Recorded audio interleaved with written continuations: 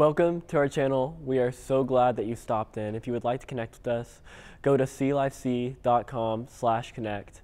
We are so expectant that God is going to move through this message. Please enjoy it.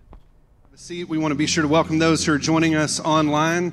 Uh, I know we've got people that join us uh, locally, uh, folks from the Kaufman County Detention Center, uh, folks that are just at home because of a myriad of different reasons, and then people in other states and other countries around the world. So, uh, those of us in the room, can we just give it up for those that are joining us online? We want to be sure that you feel welcome. We're grateful to have you as a part of our services today.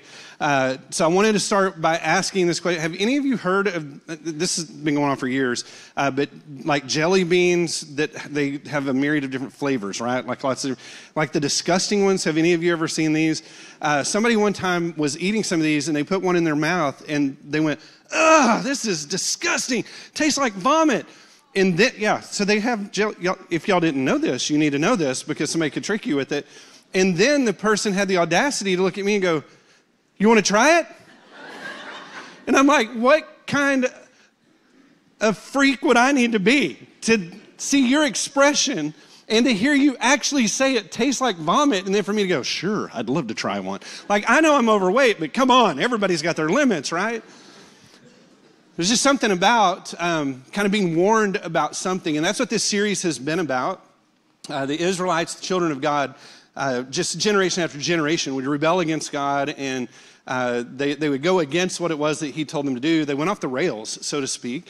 And um, we felt like if we would spend some time looking at their story, that it would kind of be one of those moments where, as uh, the people of God, we would go, Ugh, I, I, I don't want to do what they did. I, I, don't want to try what they tried. I, I don't want to go in the direction uh, that they went in. And so, uh, what we know, however, uh, is that so often we do find ourselves kind of off the rails in terms of the way we're living out our faith or not living out our faith.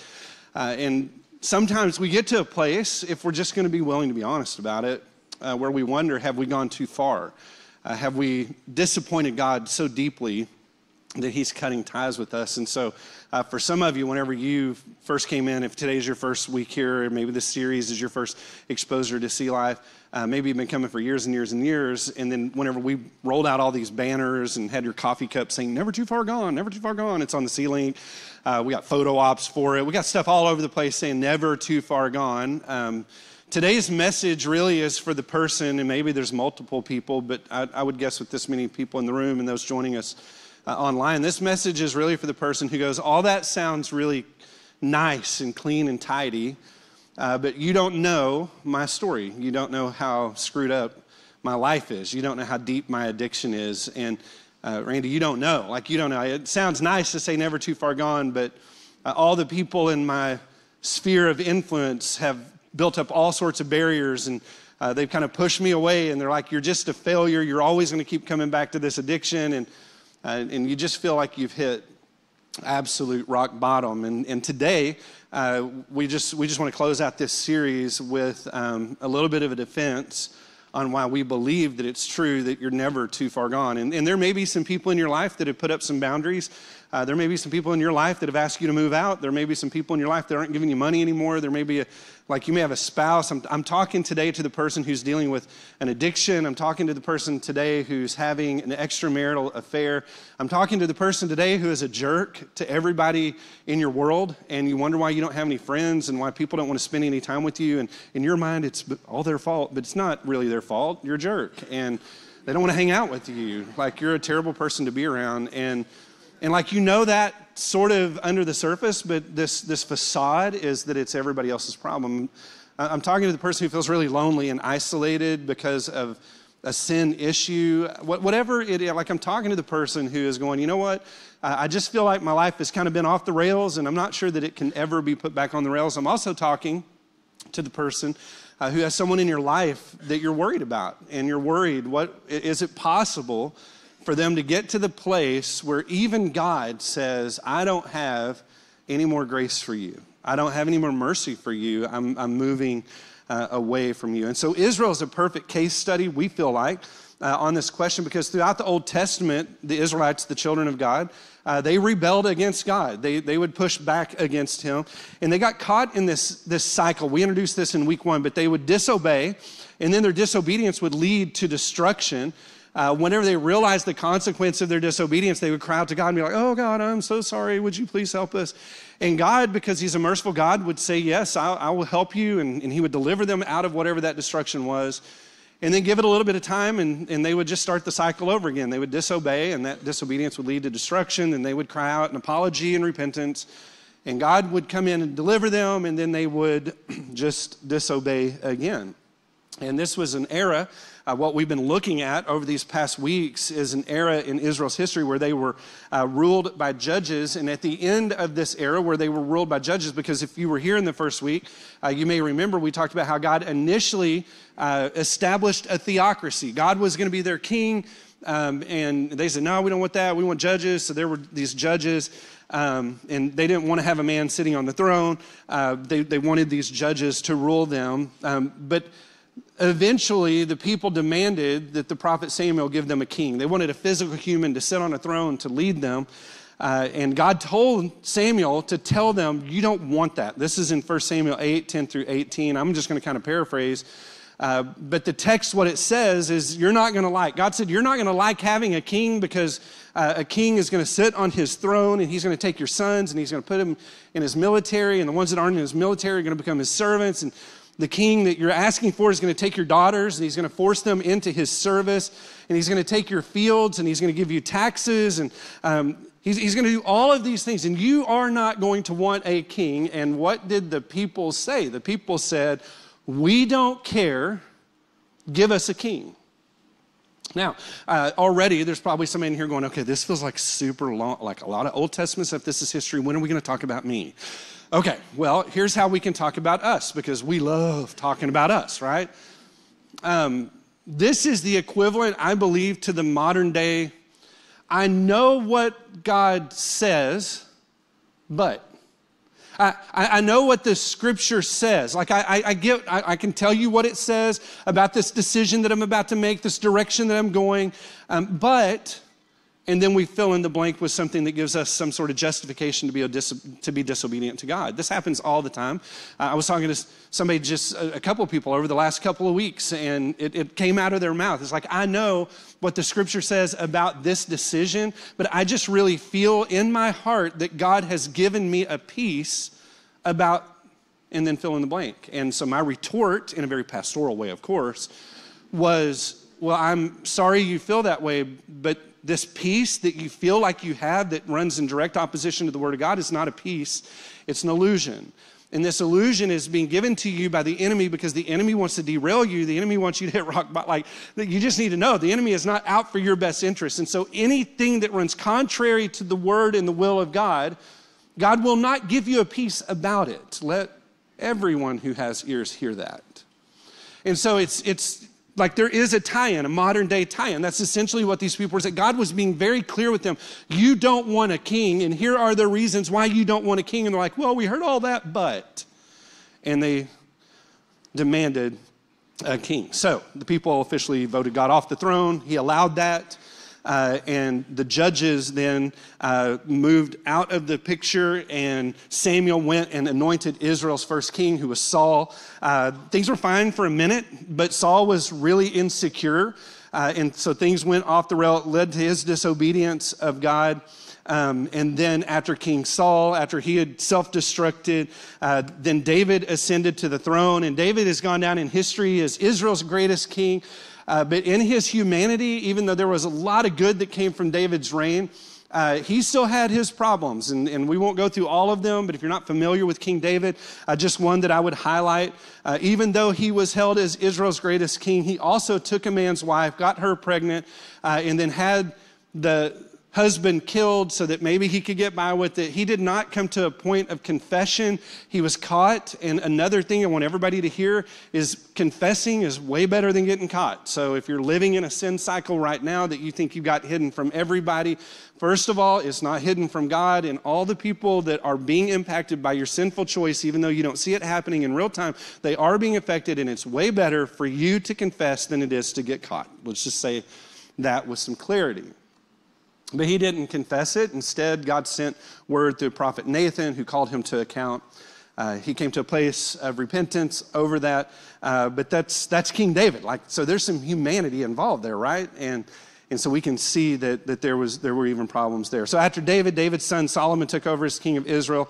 Solomon started off great. God told Solomon, he's like, hey, what do you want? Tell me what you want. I'll give you whatever. Like, and, and so Solomon said, uh, he didn't say what I would say, which is, I want three more wants. You know, I, I wasn't like that. He said, I want wisdom. And so God gave him wisdom, and he did. He had supernatural wisdom. Uh, one case in particular where this wisdom was on full display, there were two women fighting over a baby. Who does the baby belong to? And Solomon said, I'll tell you what, let's just cut the baby in half, and each of you can keep a half. Sounds like a terrible idea at first, right? And so there's one lady said, fine. And the other lady says, no, don't do that. Don't do that. I would rather the baby live. And so Solomon said, that's the true mother of the baby.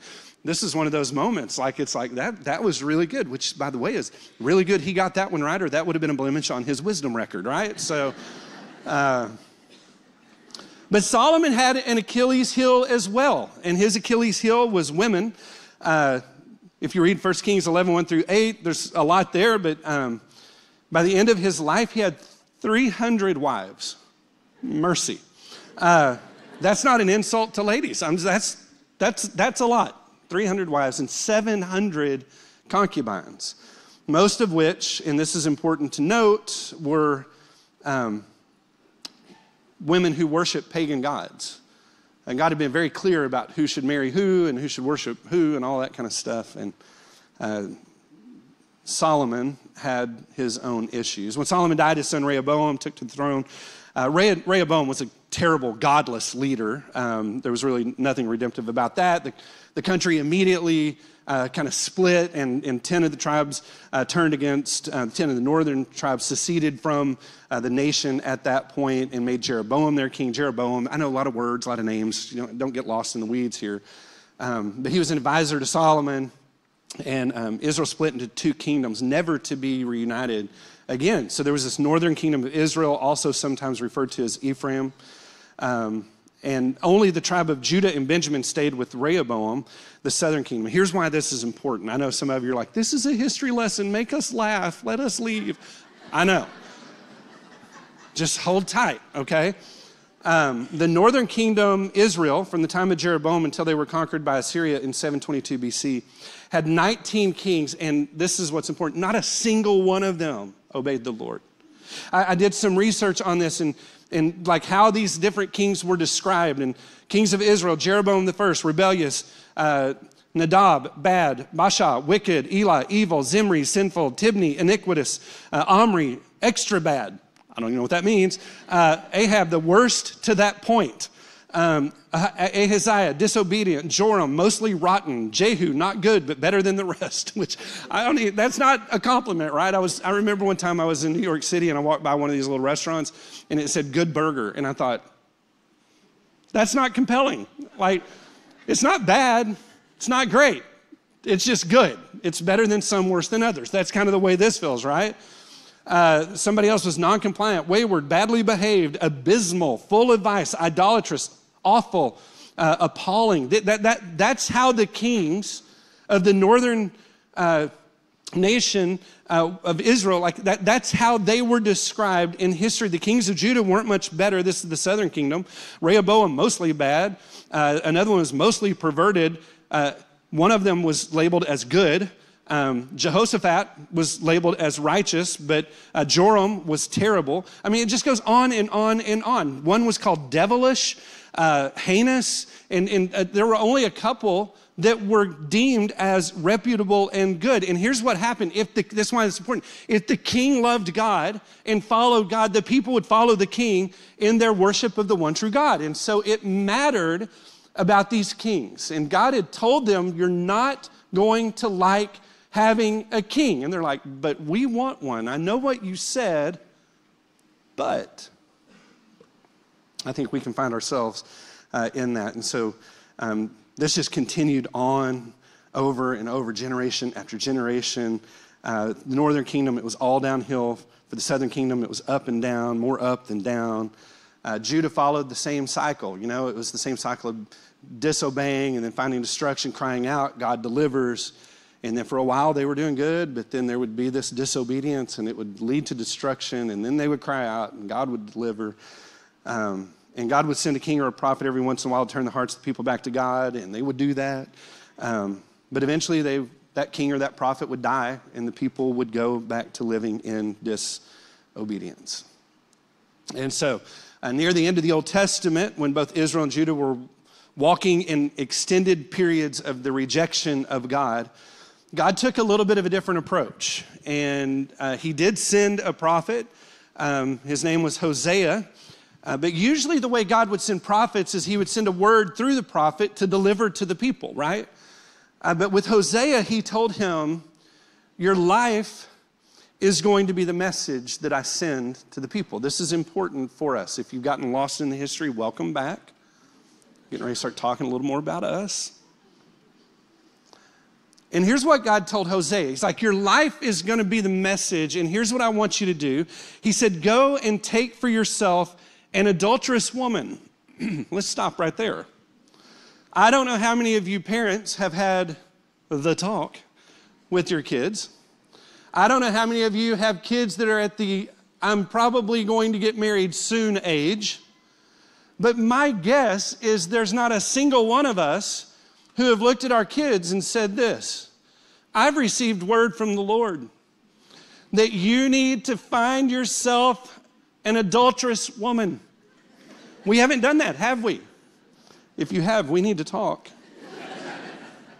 and then he said, Your marriage with her is going to be a picture of my relationship with my people.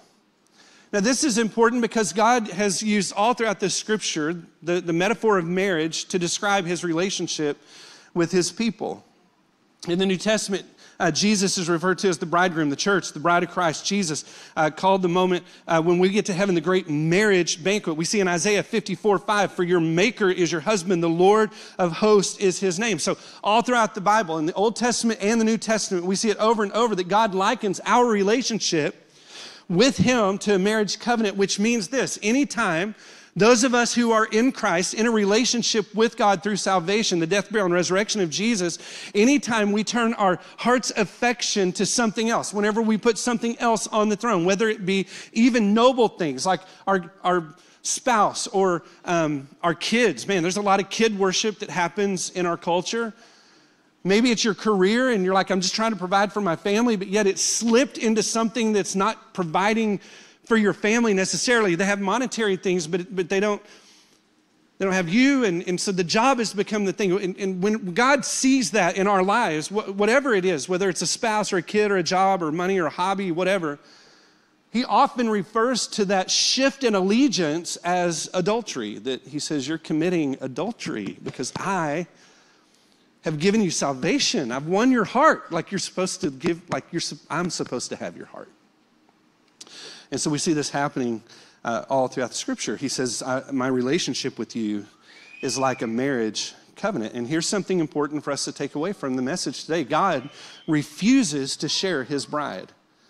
He doesn't want to share you, he doesn't want to share me with anything else. So God tells Hosea to marry an adulterous woman, and his marriage is going to be a visual of God's relationship. And if you're Hosea, are you going, Well, thanks, I'm glad to play a part? Hosea marries a woman named Gomer.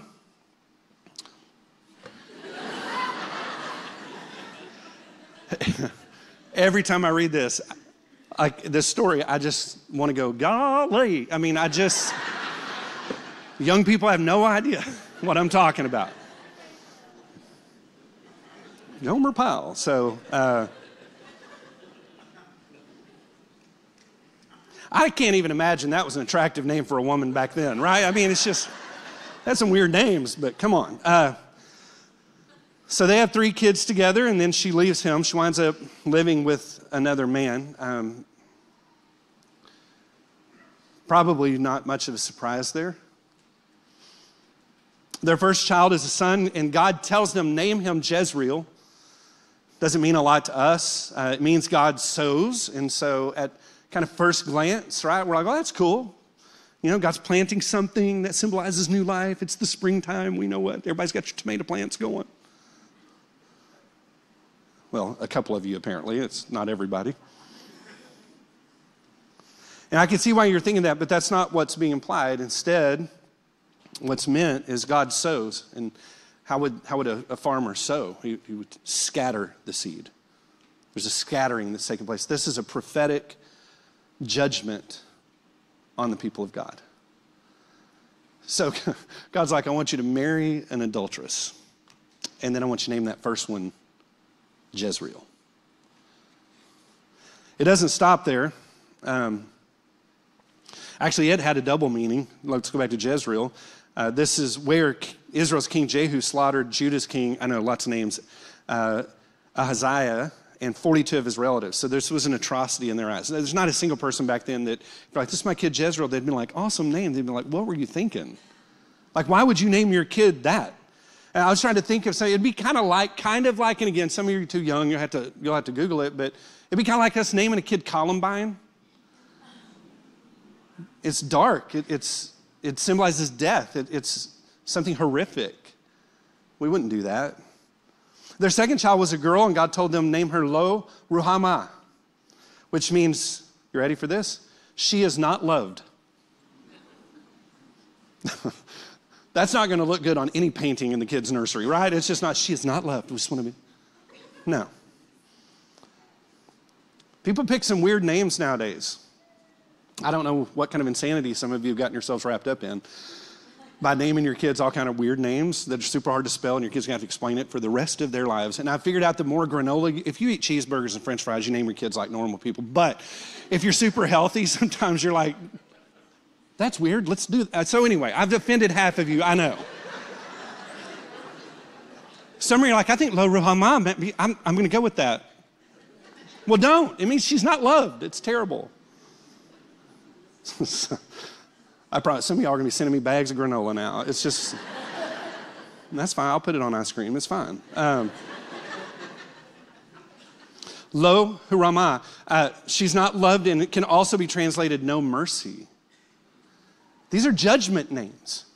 God tells Hosea, I want you to marry an adulterous woman. The woman leaves him for another man. They've got these three kids, and he says, I want you to name them. I'm going to scatter you, and there is no mercy for you. And after she weaned, she is not loved. They had a second son. In his name, God told them to name him Lo Ami, which means not my people. So I don't know if you're picking up on, can you imagine introducing these kids? Like you're walking into a social situation, somebody's like, hey there, young man, what's your name? Jezreel. God's going to scatter our people. Oh, that's interesting. Well, how about you, pretty girl? What's your name? I'm not loved. Huh. How about you, little guy? What's your name, buddy? Not my people. I mean, I don't know if you're picking up on it, but it, judging by the names, it seems like God, everybody pay attention, is finished with these people. They've rebelled one too many times. They pushed away one too many times. They've said one too many times, I know what God said, but. And I just have to believe, with this many people in the room and joining us online, that there's somebody listening to this message today. And I know this is a heavy kind of message. I just have to believe there's somebody that's in the midst of an addiction, in the midst of an affair, in the midst of stealing money from your company, in, in the midst of being a terrible person to other people, to being an abusive parent, to being a kid that abuses your parents, grace and mercy toward like I, I don't know. I, I just have to believe that there's somebody in here that when we start talking about these sin cycles that there's a part of you that wonders has god gotten to the end with me It sounds to me like he's done with them. He says in Hosea 11:2, the more they were called, the more they went away. They kept sacrificing to the Baals, the other gods, and burning offerings to idols, generation after generation after generation.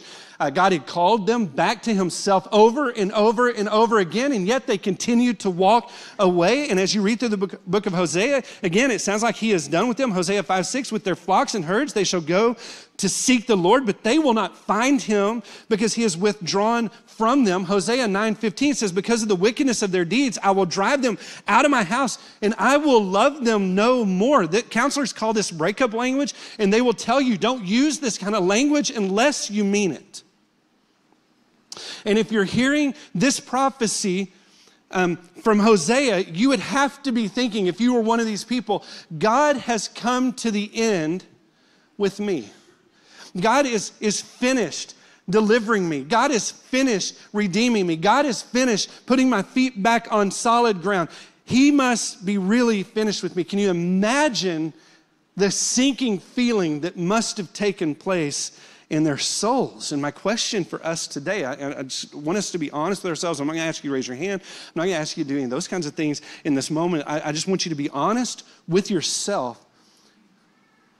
Do you wonder and do you think that you've pushed God away one too many times. Because you know there's been other people in your life that you, you pushed too you pushed too hard. You, you mouthed off one time too many uh, to a boss, and eventually said you're toxic for the company, and he cut you loose. I know everybody else thinks you just got laid off, but it, you know what happened. Maybe you've offended your spouse in whatever way you've offended your spouse one too many times and they, they said that's that's it. I, I, am finished. I'm done. And, and so you know that feeling of being pushed away. Maybe as a parent, you've, you've got this kid that's been in, in a season of rebellion and you've needed to create some boundaries, but you saw the look on their face whenever you told them, We cannot and we will not, we don't think it's best for you. And by the way, to the kid that maybe is rebelling, your parents probably need to do this.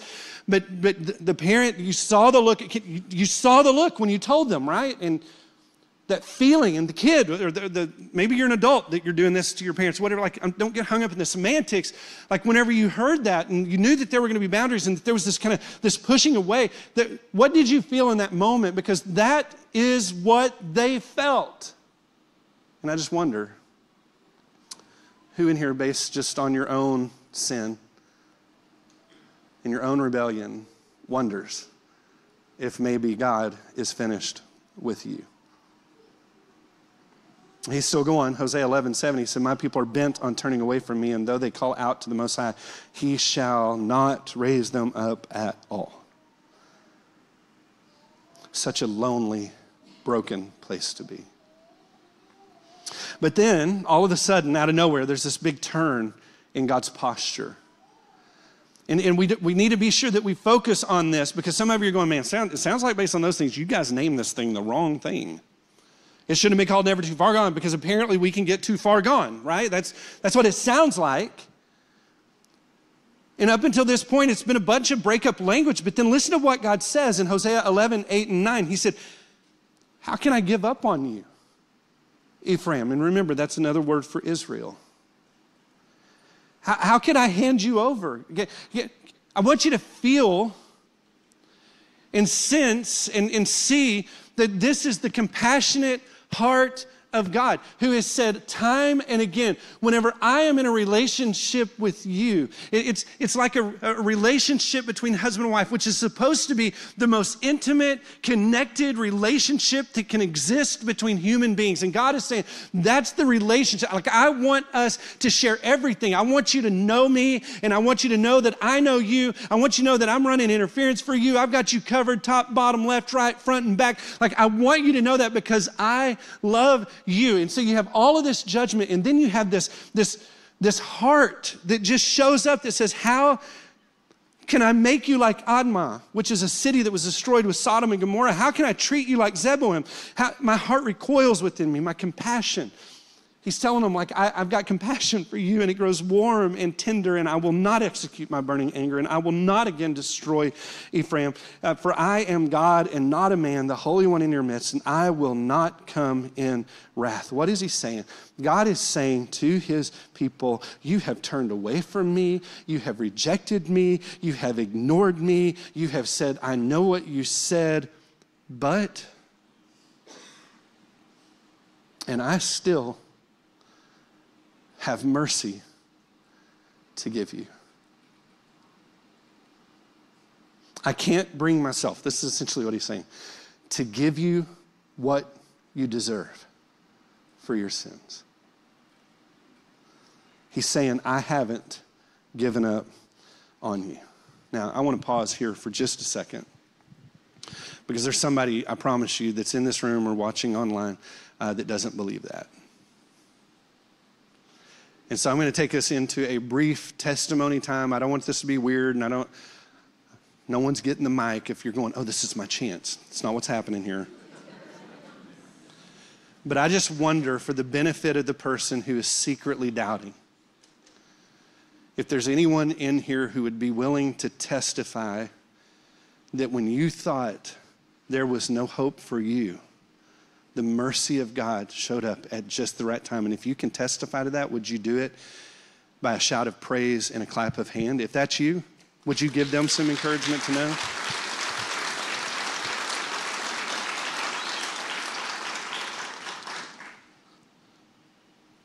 to the person who doubts and wonders,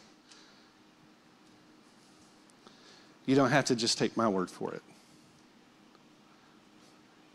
This entire room is just kind of sprinkled with people who will tell you that they thought they were too far gone at one point. But the mercy of God saved them. So, going back to the metaphor of Hosea and Gomer's marriage, they had three kids together. Then Gomer left him. She was living with another man. Punishment for adultery was uh, to be stoned to death. Hosea 3, God tells Hosea, and I'll paraphrase this as well, but he says, Go find her. And I'm guessing at this point, Hosea is like, Okay, yeah, I'll find her because I know what's supposed to happen to her. And then he said this instead of stoning her to death, like she deserves. So God's not like sweeping anything under the rug. He's like, she deserves it. You're right, she deserves it. But instead of stoning her to death like she deserves under the law, Hosea, here's what I want you to do I want you to purchase her back. He's like, with my money? She's, yeah, God's like, yeah, with your money. With 15 shekels of silver. And then, everybody look at me, he said, take her home and love her again. Now, if I'm Hosea, I'm like, first of all, you told me to marry an adulterous woman. Check. Then you sent me someone named Gomer, which did not look good on the invitations. But check. And uh, if there's a lady in here today named Gomer, I am so sorry. I didn't even think about that maybe a thing, but I bet you don't go by it. That's what I would say. But I just made it worse, didn't I? So anyway, I got all the healthy people mad at me and Gomer. So I am so sorry. Don't you know if you're Hosea, you're like, really, God? You ex- she left me. Do you not know what she put our kids through? Have you not been paying attention to what's happening here? And you're telling me that I'm supposed to go find her. Do you know how humiliating that's going to be for me to go find her? And then you want, like, you want me to take my hard earned money and purchase her back? You know, like, why is she getting by? Why, why, why is she not subject to the same law everyone else is subject to? And that's how we think but praise God uh, of all creation. Like, praise God that He doesn't think the way we think. Um, because Gomer didn't just represent Israel, Gomer represents us. You see, this whole time, God's been telling a story that you and I need to hear. Every single one of us has turned our back on God and gone our own way, and He came chasing after us. Uh, we didn't come to our senses and come crawling back to God pleading for mercy. He came to us. And while we were still sinners, the Bible says that He died for us so that we might be able um, to live in righteousness. It says He died for the ungodly. That was us. And the Father is the one who paid the price for our freedom. And He didn't just pay 15 shekels of silver, He put Himself on a cross and died the most excruciating death so that the wrath of God that you and I deserve would be placed on him so that you and I could avoid the wrath of God. He paid for all of that for us. That's the picture that's being painted in the text. And God didn't want us to miss this. He wanted us to know, even in our rebellion, that there is an opportunity to come back home, to come back to the Father, to be part of the family. 2 Timothy 2:13, beautiful passage of scripture. He says this, if we are faithless, he remains faithful. It's on him. He's the one doing all of the heavy lifting. And, and, and I, I, get that, that there may be some, like, I don't even know how this works and how does this all take. listen, let's go to the vow renewals. Remember, because God's doing this marriage thing. And he's given all of this judgment and all this kind of condemnation. He's like, you know what? You have, you, you have turned your hearts to me, like away from me, and you've been rebellious to me. And, and then he says, but I don't want, I, I don't want to bring this judgment on you. Like I, I want to redeem you. And listen to the vow renewals in Hosea 2, 14 through 23, and, and look at who's doing all of the work here. Therefore, behold, I will allure her. He didn't say condemn her and bring her into the wilderness and speak tenderly to her, and there I will give her her vineyards and make the valley of Achor a door of not condemnation, but a door of hope. And there she shall answer as in the days of her youth, as at the time whenever she came out of the land of Egypt. And in that day declares the Lord, You will call me my husband. There's that language again. And no longer will you call me my Baal. He's saying, I want a relationship with you. I, I, want you to know that I'm in this with you. 17, for I will remove the names of the Baals from her mouth, and they shall be remembered by name no more. And I, here he's doing the work, will make for them a covenant on that day with the beasts of the field and the birds of the heavens and the creeping things around. He's doing the work. I will abolish the law or, or the bow and the sword and the war from the land, and I will make you lie down in safety, and I will betroth you to me forever, and I will betroth you to me in righteousness and in justice and steadfast love and in mercy. I will betroth you to me in faithfulness, and you shall know the Lord, and in that day I will answer, declares the Lord. I will answer the heavens, and they shall answer the earth, and the earth shall answer the grain, the wine, and the oil, and they shall answer, uh oh, here are these names Jezreel. But look what God does and I will sow her for myself in the land. And I will have mercy on no mercy. And I will say to not my people, You are my people. And he shall say, You are my God. Everybody look. Um, God was not finished with Israel. And I just believe there's somebody in here today who needs to hear He is not finished with you either. Yeah, but my sin, listen, there's a story in the New Testament. I'm going to have to go really quickly on this, but uh, there's a story in the New Testament, often referred to as the prodigal son. The story goes that there was this dad, he had two boys. One of the boys came to the dad and said, I want my inheritance early. This is one of the worst things that you could have done back in, in this culture, this first century Jewish culture. Everything was about the father's name, and, and you didn't do anything to bring humiliation or embarrassment to the father. And whenever this kid asked for the inheritance, it was humiliating the father. And whenever the kid got the inheritance and left, everybody in society would have told the father that son needs to be dead to you and if he ever comes back home you need to have him killed on the spot. He's no longer part of your family. He has humiliated you. The story goes that the kid left and he squandered all of his money. He found himself eating pig slop and as a first century jewish boy you didn't get around pigs but this one did because he didn't have any other choice the Bible says whenever he came to his senses, he thought, I need to go back to my dad and I need to see if my dad can I don't know, let me become one of his servants because even my dad's servants, my dad's a good guy. That's what the text tells us. The kid knew that his dad was a good man. He's like, if I, I just got to get back to my dad, and my dad will be able to help me. And so he put together this speech. There's a lot of speech writers in here whenever you're getting ready to take something to God. He practiced this speech and he mustered the courage to be able to go back to his father's house. And the text tells us that as he was walking toward the father's house, the dad was outside and he saw his son coming from a long distance.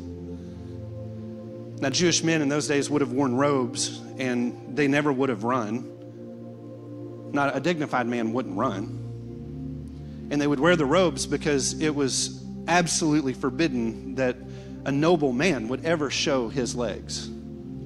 But the text tells us that whenever the dad saw the son coming from a long distance away, he took off running. Well, there's only one way that a dad wearing a robe could actually run, and that was to lift the robe.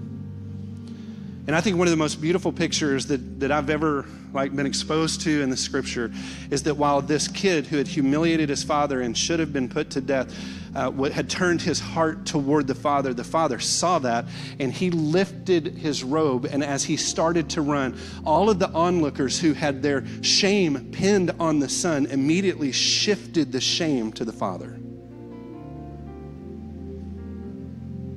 And I want to say to the person, sitting in this room and watching online that feels so shamed and so smothered by condemnation. According to the text, you're not too far gone. And if you will turn in repentance to the Father, what you're going to realize is that He has been pursuing you the whole time. And the cross that Jesus went to shifted the shame that it was on you onto him so that you and I could be forgiven. We're going to sing a song. I want you to have freedom in this this time. Don't don't leave. The kids are fine. Parking lot's fine. Some of you may need to come up here and pray. Use this as an altar, and you're like, I don't know if I can get out of the row. Look at the people in the road and just tell them to move. They'll move, and you can come up. Like whatever you need to do. If you need to stand, sit. If you need to get some people around you, huddle up and pray. If you need to pray by yourself, whatever it is you need to do, can we just in this series, declaring if we know it's true and receiving it if we've doubted it. That because of God's mercy, we're never too far gone. God, would you help us to believe that and live that, celebrate that, receive that today in Jesus' name? Amen.